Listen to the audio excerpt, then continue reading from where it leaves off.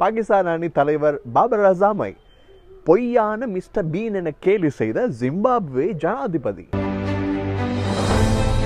அடுத்த முறை வரும்போது உண்மையான மிஸ்டர் பீனை அனுப்பி வையுங்கள் என்று கேலியாக அந்த ட்வீட்டில் பதிவிட்டிருந்தார் ஜிம்பாப்வேயின் ஜனாதிபதி. அது வெறுமனே நகைச்சுவையாக இருந்தாலும் கிரிக்கெட் ரசிகர்கள் மத்தியில் அது ஒரு கேலியாக இடப்பட்ட ஒரு பதிவாகவே பார்க்கப்படுகிறது.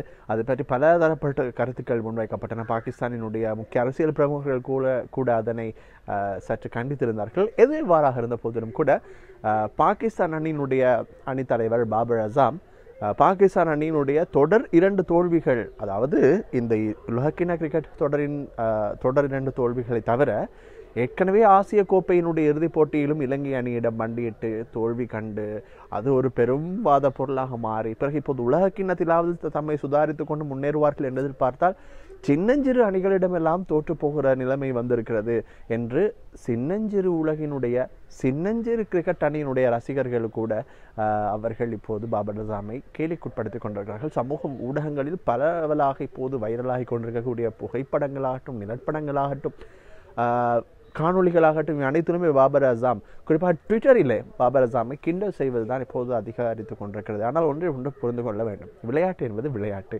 அதனை நாங்கள் விளையாட்டாக மாத்திரம் பார்க்க வேண்டும்.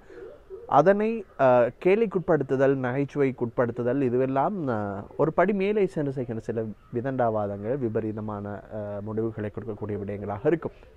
ஆனால் இதனை பாகிஸ்தான் ரசிகர்களும் செய்வார்கள். அதனால் தான் ஏனைய ரசிகர்கள் இப்போது பாகிஸ்தான் ரசிகர்களுக்கு செய்கிறார்கள்.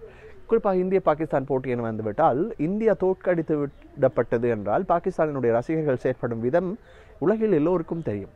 அதனாலோ என்னவோ ஏனைய அணிகளிடம் பாகிஸ்தான் வெற்றி பெற்றால் கூட பாகிஸ்தான் ரசிகர்கள் ஏனைய அணிகளை கொச்சைப்படுத்துவதும் எல்லோருக்கும் தெரியும். அதனால்தான் பாகிஸ்தான் அணி தோல்வி கண்டது என்றால் ஏனைய அனைத்து அணிகளுடைய ரசிகர்களும் ஒன்றாக சேர்ந்து கலாய்க்கின்ற போது அல்லது அவர்களை கேலிக்குட்படுத்துகின்ற போது அது ஒரு பெரிய விடயமாக மாறுகிறது. ஏனென்றால் ஒன்றை விட பல நூறு பேர் சேர்ந்து கேள்வி செய்கின்ற போது அது ஒரு பெரிய விடயம் அல்லவா?